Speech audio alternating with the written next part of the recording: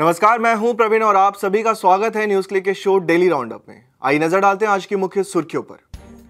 मध्य प्रदेश विधानसभा ने सदन में 1161 शब्दों के इस्तेमाल पर लगाई रोक। विधायकों ने जताया ऐतराज। ट्रिब्यूनल सुधार बिल क्या है, जिसकी वजह से नौ ट्रिब्यूनल हो जाएँगे खत्म? सीटू ने बंगाल में प्रवासी श्रमिकों की यूनियन बनाने की पहल की। समझिए दंगा फैलाने की क्रोनोलॉजी। और आखिर में हम बात करेंगे कोरोना अपडेट की। देश में 24 घंटों में अड़तीस नए मामले, चार मरीजों की मौत। मध्य प्रदेश विधानसभा सत्र के दौरान विधानसभा में 1161 शब्दों और मुहावरों के इस्तेमाल पर रोक लगाने वाली एक पुस्तिका के पेश किए जाने के एक दिन बाद सत्ताधारी और विपक्षी दलों के विधायकों ने इस पर ऐतराज जताया और पुस्तक से कुछ शब्दों को हटाने की मांग की है। इस पुस्तिका में वेंटिलेटर, तानाशाह, पोस्टमैन, नक्सलवाद, अन्याय आदि, बेचारा, हल्ला, भेदभाव, चोर, यार, भ्रष्ट, पप्पू, बंधुआ मजदूर, बंटाधार, जो कि पूर्व मुख्यमंत्री दिग्विजय सिंह के लिए इस्तेमाल किए जाने वाला तकिया कलाम है। इन सभी को विधानसभा के अंदर असंसदीय घोषित कर दिया गया है। और अगर कोई इनमें से किसी भी शब्द का इस्तेमाल करता है तो शब्द को निकाल दिया जाएगा। इस पुस्तिका पर ऐतराज जताते हुए पूर्व प्रोटेम स्पीकर रामेश्वर शर्मा ने विधानसभा अध्यक्ष को चिट्ठी लिखकर इस पुस्तिका से बंटाधार और नक्सलवाद शब्द को हटाने की मांग की। इस चिट्ठी में पाँच अन्य विधायकों के भी हस्ताक्षर थे। उन्होंने सत्र के पहले दिन संवाददाताओं से कहा, बंटाधार शब्द पूर्व मुख्यमंत्री दिग्विजय सिंह के शासन के लिए इस्तेमाल किए जाने वाला एक रूपक है, जो मध्य प्रदेश के लोगों द्वारा उनके कुशासन के लिए दिया गया शब्द है। यह भला असंसदीय कैसे हो सकता है?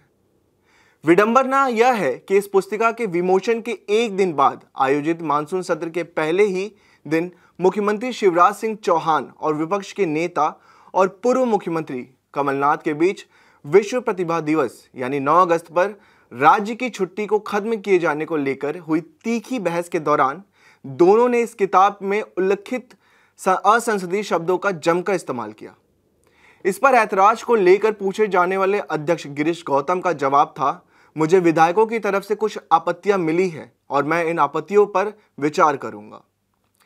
Centre of Indian trade union ने पश्चिम बंगाल प्रवासी श्रमिक यूनियन बनाने के बारे में गंभीर चिंतन किया था, जिसकी सदस्यता अभियान हाल ही के महीनों में शुरू किया गया है। यूनियन का कहना है कि अब तक उसने चालीस हज़ार से अधिक सदस्यों को सदस्यता दे दी है और उन्हें पहचान पत्र भी जारी कर दिए गए हैं। पश्चिम बंगाल दूसरा ऐसा राज्य है जहाँ भारत की कम्युनिस्ट पार्टी की श्रमिक इकाई ने खास तौर पर प्रवासी श्रमिकों के लिए एक अलग यूनियन बनाने की अपनी योजना को अंजाम दिया है। उन्होंने इसकी योजना इसलिए बनाई क्योंकि पिछले साल कोविड 19 के प्रकोप के कारण जल्दबाजी में बिना सोचे समझे लगाए गए देशव्यापी लॉकडाउन के बीच देश भर के प्रवासी श्रमिकों को विभिन्न राज्यों में अपने कार्यस्थलों से अपने मूल स्थानों तक या गाँवों, कस्बों लौटने पर दर्दनाक अनुभव सहन करना पड़ा था। इससे पहले सीटू ने 2020 में कर्नाटक में पहली प्रवासी यूनियन बनाई थी। सीटू की नज़रों में कुछ अन्य राज्य भी हैं जहाँ अभी ऐसी यूनियनों की शुरुआत की जानी बाकी है। राज्य में चल रहे आंशिक लॉकडाउन ने सदस्यता अभियान में बाधा डालने का काम किया है, लेकिन इस आंशिक लॉकडाउन से संगठन को आंशिक रूप से मदद भी मिली है। क्योंकि अभी भी वापस आए प्रवासी श्रमिक काम पर वापस नहीं लौट पाए हैं। चालीस हज़ार से अधिक सदस्य बनना मौजूदा स्थिति की ही देन है। जंतर मंतर पर लगे मुस्लिम विरोधी नारों में बीजेपी और हिंदूवादी संगठनों के सदस्यों की गिरफ्तारी के बाद फिर से उत्तर पूर्वी दिल्ली में फरवरी 2020 में हुए मुस्लिम विरोधी दंगों की याद ताज़ा होती दिखी। दंगे फैलाने की क्रोनोलॉजी पर बात कर रही हैं वरिष्ठ पत्रकार भाषा सिंह। आइए सुनते हैं क्या है उनका नज़रिया। हम सबने देखा कि देश की राजधानी में जंतर मंतर पर, जहाँ परिंदा भी पर नहीं मार सकता दिल्ली पुलिस की इजाज़त के बिना। पिछले तेरह दिनों से वहाँ किसान संसद चल रही थी और मैं बतौर पत्रकार कितनी बाधाओं को पार करते हुए तीन तीन बार चेकिंग करते हुए किसान संसद पहुँच रही थी। ये वही जंतर मंतर है। ये वही पार्लियामेंट स्ट्रीट है, जिसके बारे में दिल्ली पुलिस दावा कर रही है कि उसने आयोजकों से कह दिया था कि ये आयोजन, यह विरोध प्रदर्शन नहीं हो सकता। लेकिन उसके बावजूद यह विरोध प्रदर्शन हुआ। मुसलमानों के खिलाफ ज़बरदस्त, गंदे, अश्लील, असंवैधानिक ढंग से नारे लगाए गए, उनको मारने और काटने की बातें कही गई। सब वीडियो रिकॉर्ड किया गया। इसके आयोजक भी कौन है? वह भाजपा, दिल्ली से सीधे सीधे जुड़े हुए लोग हैं। जो अश्वनी जो गिरफ़्तार हुए हैं, वो सुप्रीम कोर्ट में वकील रहे हैं। उनके साथ, जब शुरू में जब प्रचार प्रसार फेसबुक पे चल रहा था, दिल्ली में तमाम जगहों पे जो बैनर लगा हुआ था, वह बैनर उस समय तो लगा हुआ था भारत बचाओ आंदोलन के बैनर के तहत, जिसको खुद मैंने देखा था, जो इस समय आपको स्क्रीन पे दिखाई दे रहा है। इसके बाद जो प्रदर्शन हुआ, वह भारत जोड़ो आंदोलन के तहत हुआ। बैनर वहाँ जो लगा हुआ था, दोनों के मुद्दे बिल्कुल एक थे।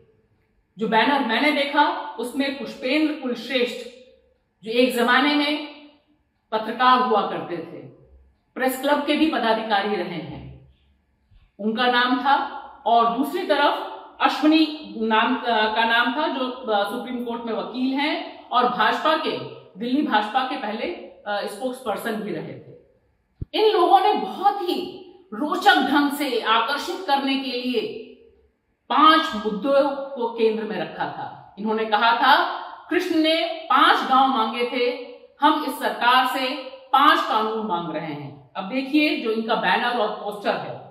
दोनों ही भारत बचाओ आंदोलन और भारत जोड़ो आंदोलन, जो 8 अगस्त को जंतर मंतर पर होना है, दोनों के बैनर और टेक्स्ट बिल्कुल एक है। समान शिक्षा, यानी जो रिलीजियस माइनॉरिटी अपने स्कूल कॉलेजेस चलाती है, मदरसे चलाती है उसे बंद किया जाए। समान नागरिक संहिता, घुसपैठ नियंत्रण, धर्मांतरण नियंत्रण, जनसंख्या नियंत्रण। यह सब कुछ ये लोग कर रहे हैं उस समय, जब मोदी सरकार को सत्ता में काबिज हुए सात साल से अधिक का समय हो चुका है। यानी तब से केंद्र में इन्हीं के पक्ष की सरकार है। सबसे बड़ा सवाल यह उठता है कि चाहे वो पुष्पेंद्र हो या फिर अश्वनी इनके पीछे, इनके ज़रिए क्या मकसद साधा जा रहा है? यह सारी क्रोनोलॉजी समझने के लिए सबसे ज़रूरी बात है कि आखिर इस समय क्यों ये लोग इन मुद्दों को सामने लाकर युवाओं को भड़काने की कोशिश कर रहे हैं। क्या इसकी बहुत बड़ी वजह यह है कि इस समय मोदी सरकार बाकी मुद्दों पर घिरी हुई है? किसानों के मुद्दे पे घिरी हुई है, महँगाई के मुद्दे पे घिरी हुई है और वापस उसे हिंदू मुसलमान करने की बहुत ज़रूरत है। और आखिर में हम बात करेंगे केंद्रीय स्वास्थ्य मंत्रालय द्वारा। आज बुधवार यानी 11 अगस्त को जारी आंकड़ों के अनुसार देश में 24 घंटों में अड़तीस नए मामले दर्ज किए गए हैं। इसके अलावा कोरोना से चार मरीजों की मौत हो चुकी है। साथ ही इसी दौरान देश भर में कोरोना से पीड़ित चालीस मरीजों को ठीक किया गया है। और एक्टिव मामलों में दो मामले कम हुए हैं। देश में कोरोना के मामलों की संख्या बढ़कर तीन करोड़ बीस लाख छत्तीस हज़ार पाँच सौ ग्यारह हो गई है, जिनमें से अब तक चार लाख उनतीस हज़ार एक सौ न्यासी लोगों की मौत हो चुकी है। देश में कोरोना से पीड़ित संतानवे दशमलव चार पाँच फ़ीसदी यानी तीन करोड़ बारह लाख बीस हज़ार नौ सौ इक्यासी मरीजों को ठीक किया जा चुका है और देश में एक्टिव मामलों की संख्या घटकर एक दशमलव दो एक फ़ीसदी यानी तीन लाख छियासी हज़ार तीन सौ इक्यावन हो गई है।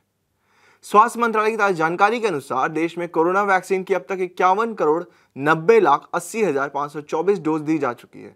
जिनमें से इकतालीस लाख अड़तीस हज़ार छह सौ छियालीस वैक्सीन की डोज पिछले चौबीस घंटों में दी गई है। आज के डेली राउंडअप में बस इतना ही। न्यूज़ क्लिक के यूट्यूब चैनल को सब्सक्राइब करें। साथ ही देश और दुनिया के अन्य खबरों के लिए हमारी हिंदी और इंग्लिश वेबसाइट भी ज़रूर देखें। फेसबुक ट्विटर और इंस्टाग्राम पर हमें फॉलो करें। न्यूज़ क्लिक देखने के लिए शुक्रिया।